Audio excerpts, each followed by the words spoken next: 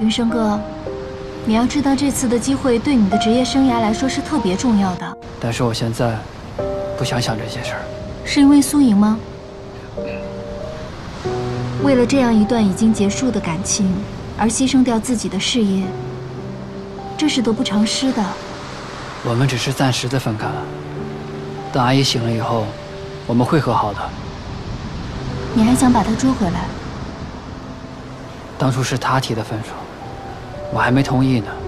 其实你还是挺关心苏苏的。那既然你们两个心里都有彼此，为什么不把话说开呢？小琴呢？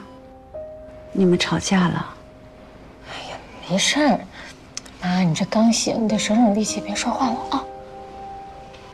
不怪他，是妈不让他告诉你的。你在哪？我马上进手术室。你找我有什么事儿啊？对不起。我听周姐说啊，她朋友家的那个儿子最近也在相亲，我帮你介绍一下吧。呃，不用了吧？你再看一下，这条件真不错。好吧，我承认，我谈恋爱了。叶生哥，我这么做都是为了能和你在一起。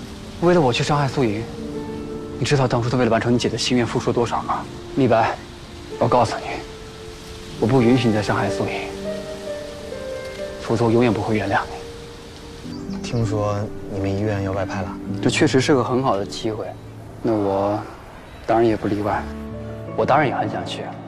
你知道外派的事情，云生哥一直不签字是因为你吗？